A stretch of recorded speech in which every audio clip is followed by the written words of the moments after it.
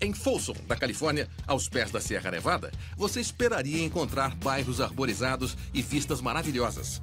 Mas imaginaria encontrar isso? Uma cascata inacreditável escorrendo de uma casa. E logo acima dela, um oásis tropical tão espetacular quanto ela, com mais cascatas, uma gruta e sua própria cabana Tiki.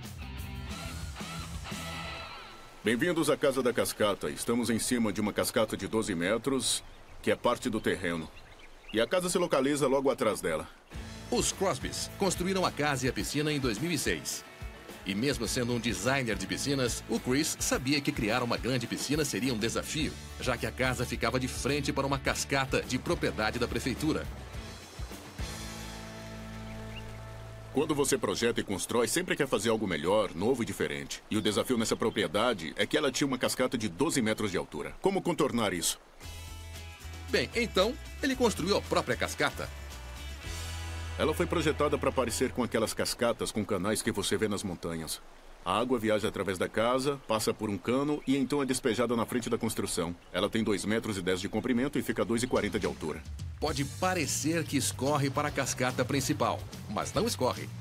Existe um tanque coletando água abaixo da piscina principal e também existe uma segunda cascata em cima de uma antiga gruta de 2,40 de altura. E o que é uma gruta sem o spa dentro dela? Esse é o ponto mais alto. A água sai do spa, desce pela piscina de conexão e então entra na piscina principal. Quanto à piscina, ela tem 2,70 de profundidade e é ótima para mergulhar. E a borda infinita de 10 metros é o lugar perfeito para relaxar e admirar a vista. Nós dois viemos de famílias com cinco filhos. As nossas famílias se reúnem frequentemente e queríamos ter um lugar onde todos pudessem brincar e se divertir juntos. Até a praia de 15 centímetros de profundidade é divertida para crianças de todas as idades. A parte rasa da piscina é usada mais que qualquer outra, porque você pode relaxar nela. A piscina também tem o seu próprio cantinho polinésio. Você se acomoda, pega uma bebida e descansa na sombra. Mas a construção desse paraíso não foi fácil. A propriedade estava em péssimo estado e o espaço era um grande problema.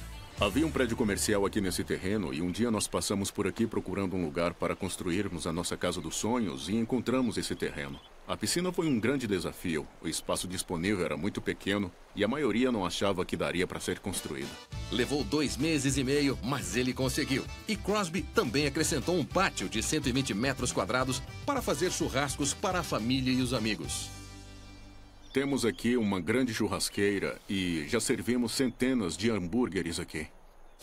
E quando o sol se põe, a piscina vira a estrela do palco. Crosby trouxe o céu noturno para a Terra, enchendo a piscina com 75 luzes de fibra ótica para recriar as estrelas.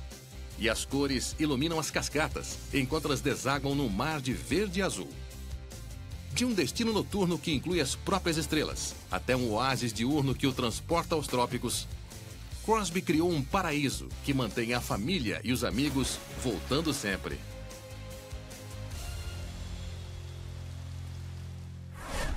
Com cascatas de vários tamanhos, um toboágua veloz e 15 metros de diversão molhada, essa piscina é como ter o próprio parque aquático no quintal de casa. Nós temos três filhos com menos de 16 anos e abrimos a casa aos amigos deles. E é bacana, não existe motivo para ir a outro lugar com essa piscina. Os Helds acreditam que a família que brinca unida permanece unida.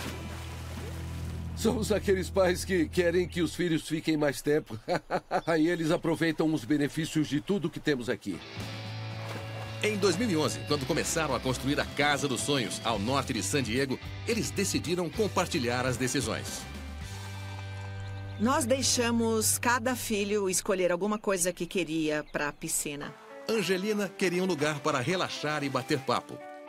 A gente entrou na gruta e é bem divertido porque tem música tocando lá dentro, então podemos sentar lá, escutar música e bater um papo de meninas. A Alexa queria um spa para passar tempo com os amigos. Era algo que eu sempre quis. Eu nunca tinha tido essa experiência antes. E o André, um lugar para mostrar os seus saltos e mergulhos. A gente tem uma rocha aqui e eu posso saltar dela junto com os meus amigos.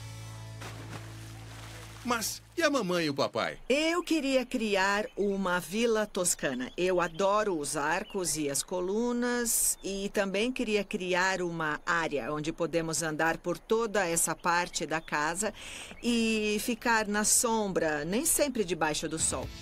Outro item desejado era aproveitar a incrível vista do sul da Califórnia. Então, além da borda infinita de 12 metros na piscina, Margaret também queria portas retráteis que se abrem para o deck da piscina.